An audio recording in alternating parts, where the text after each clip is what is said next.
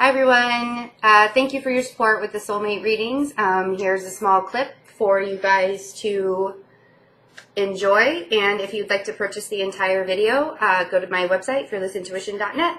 Bye. Hi Scorpio.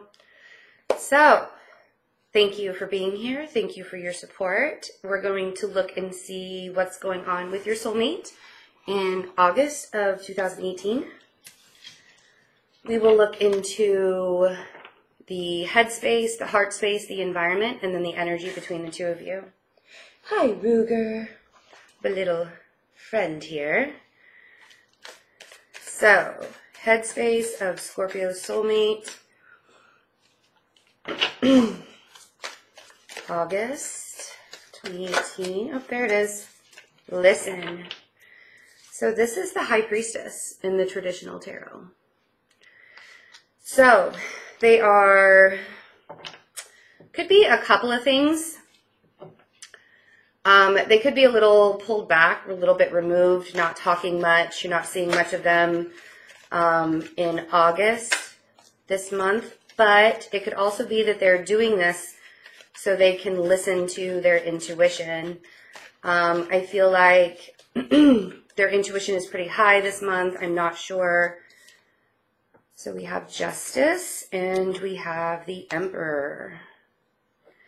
Nice. So a lot of major arcanas already.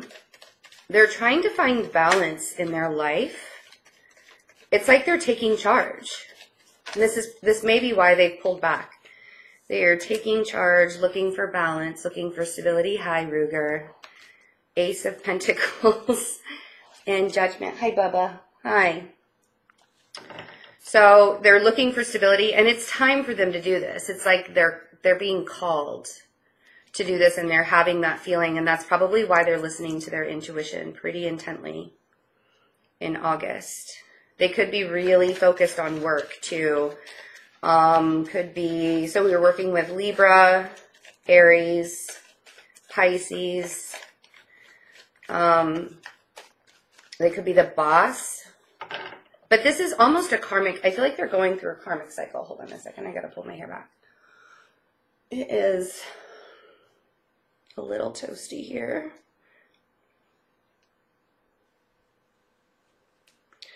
Um, let's see. And I feel like they're ready. It's just there's this readiness, you know. I want to take charge. I want to be in control of my life again. I want to see you know, I need to do it this way. So what is justice for Scorpio's soulmate? There we go.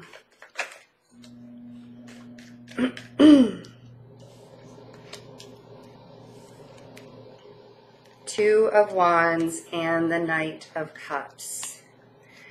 So I'm kind of feeling like already, this is like you know, I have things, I have like karmic things I need to take care of. I feel like they're going through or ending a karmic cycle right now, and they're having to kind of take control of things in their life.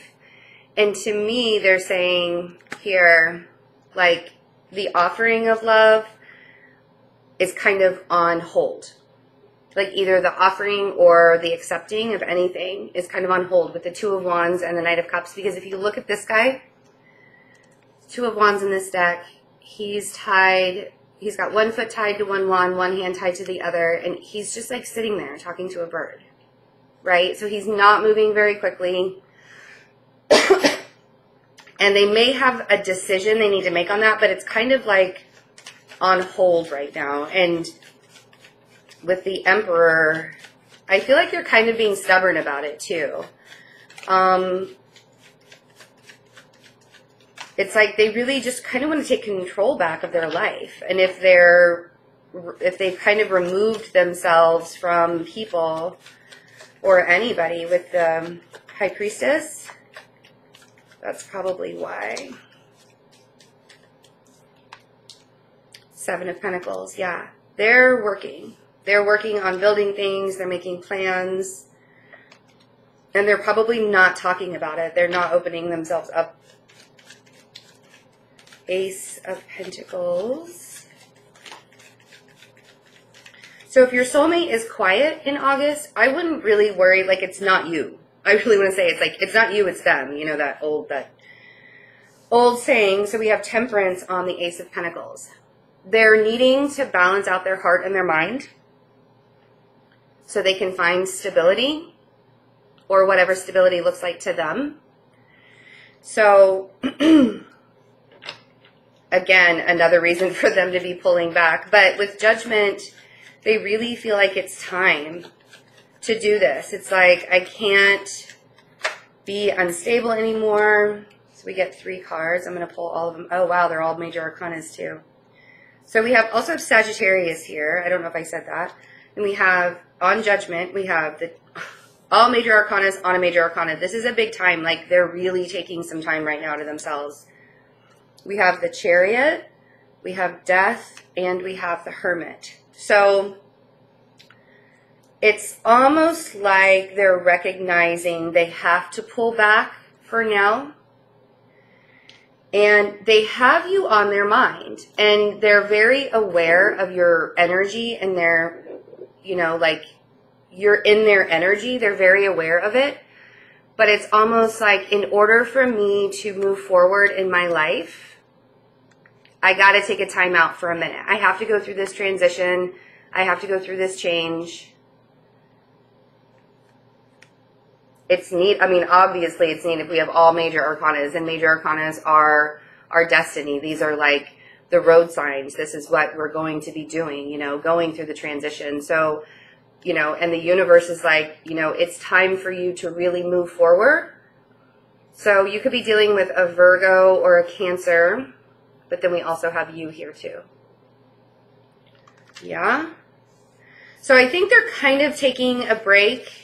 And it's almost as if, like, I really want to say, like, don't take it personally if they pull back. If you're in contact with them, if you're not in contact with them and you're not really feeling their energy, it's because we